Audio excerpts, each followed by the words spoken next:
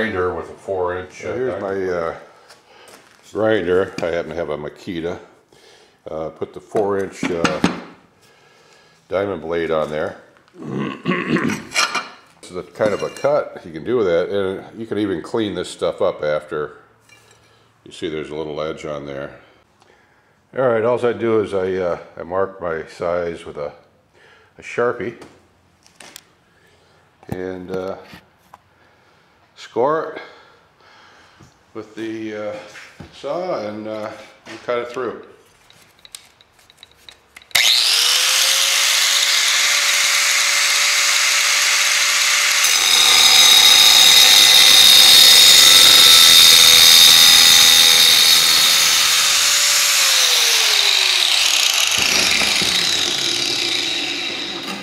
That's all there is to it. Now I got this, this little bit of bead on here. It doesn't make any difference. Uh, it's going to be hidden anyway, but uh, what I'm going to do is just, uh, if you want to clean it up, just wrap around the edge. You put that in place. Just take that out.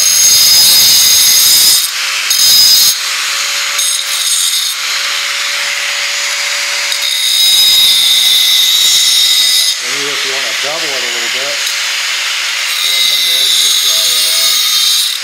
cleans it right up real nice. And there it is. Nice clean cut, very smooth, very straight. Hard to tell, this is just the, the mortar right now.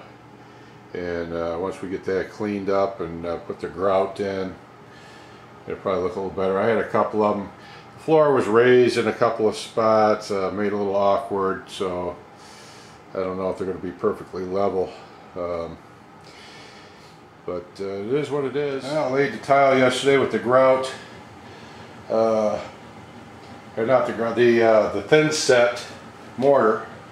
And I didn't do a spectacular job here, but uh, I had mortar all over everything. I don't know, it's like I lost my mind. But what I'm doing is I'm cleaning out the, the remaining material between the, the cracks uh, with this oscillating tool. Now they, they suggest this this uh, grout removing tool, which that came from my old Sears one. It did work on here, but tell you the truth, this this blade is working better. Of course, it's going to take all the teeth off, but it's really the high-speed motion that's, that's getting the job done. I don't have to worry about damaging the tile with this. Uh, put it on high speed and let her rip, and just cut down in and vacuum it up as you go.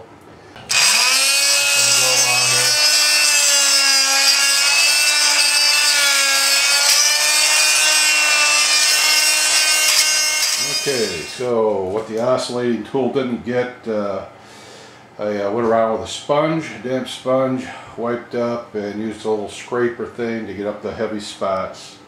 Looks like everything cleaned up really nice. And uh, then we're out the shop vac one more time and cleaned out any remaining material that was between these spaces. So it looks like it's pretty much ready to go to put down the, working on the uh, the grout. I made a little too much so uh, it's hard to tell. They don't, they don't give you a lot of clues on the bag as to how much is what. Anyway, so I'm in my waiting period here. I just finished uh, filling all the uh, cracks with the grout. And uh, once it's uh, about 10 minutes or so I can go ahead and wipe it down with a sponge. And then you wait for a couple of hours and then you uh, install. Uh, waited about a half an hour or so and then I wiped it down with a wet sponge and waited a couple of hours and wiped it down with this towel over here and it came out pretty good. I did vacuum it and um, now it's just uh, to put the sealer on. I, I'll be using this safeguard stuff. I still have some from my other room. Uh, it's a grout sealer.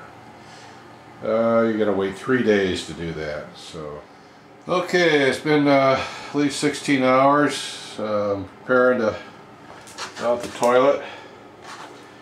Uh, got a little cleaning up to do yet on there. Some of the tar from the old floor got up on there. Well, I've got this uh, wax seal here, and uh, this is something that I tried upstairs. Seemed to work pretty good. It fits over the wax seal, and uh, it's a rubber boot, so that you can easily remove the toilet later if you need to. Okay, that's where we're at. Oh, got the vanity. Uh, well, we'll take a look at that in a little while. Uh, on sale at the Home Depot. Uh, let's see here. It's got the mirror and the vanity and the and the bowl. Uh, the good news is I used a Lowe's uh, $10 card and got 10% off. So uh, that worked at uh, Home Depot. All right. Well, that was an easy install. New vanity, small, so uh, my mother will have a easy time getting in the door. It's a Moen uh, faucet that went in real easy. Had its own uh, water cables on there. And things lined up pretty well underneath. Actually, this should work out better. I always had a little gurgling, now I get a longer drop for the P-trap. So that should eliminate the gurgle. It's the old toilet with a new new seat on it. These are nice. This is uh, Bemis. So the toilet doesn't slam. They work very nice. I got one upstairs. We haven't sealed this yet. Uh, grout came out nice, really blends in well with the tile. We'll let it dry out for a couple more days uh, before we seal it. Today we're preparing to put the tiles up here on the wall. And what I've done is I've uh, measured down from the top to where I want to to where I want to start. I screwed up a border around here with some scrap wood. Make sure it's nice and level. This way what you do is you can start out your first row there sitting right on top of that wood and you're assured that it's going to be level. And, uh, and then you work your way up the wall from there. Then you can come back later and you unscrew those uh, supports. You cut in your, your final pieces along the, the bottom row. It's a technique I learned in building trades in high school. Uh, what I've done is I've also gone along and I put a bead of uh, silicone rubber in the corners just to assure some waterproofing if there were to be a, a breach in the uh, grout. Now I'm going to tape uh, tape the joints. You want to make sure you use the special tape that comes for the HardieBacker. It should be good. I had the, this border down lower. I was trying to make sure I would meet up exactly with the ceiling, but the ceiling's not exactly level. So I moved it up a couple of inches so that uh, I will have to trim the top row and the bottom row. Well, I've started the uh, installation of the tile on the wall. Yeah, about, about three layers. What I'm doing is uh, buttering each individual um, tile. This one uh, I was kind of hoping I'd chip the corner a little bit on it. And I thought I could hide it in the corner. No, not so much. Had to pry it off the wall and replace it. Uh, it's one that I had uh, cut an edge off of and I got a little carried away and I thought, well, it'll get hidden. Yeah, this is going on here forever, so I thought, well, I'll replace that. That worked out okay. So uh, now I'm, I'm mixing small batches at a time. Um, I'm using a, a, cup like this. And uh, I tried uh, one cup of water to three cups of uh, uh, mortar. That was a little thick. Uh, so I've gone to two cups of water to five cups of mortar and that's a real nice consistency keep my mixer clean. I'm just using a paint mixer and that works real fine. I use that on my concrete too.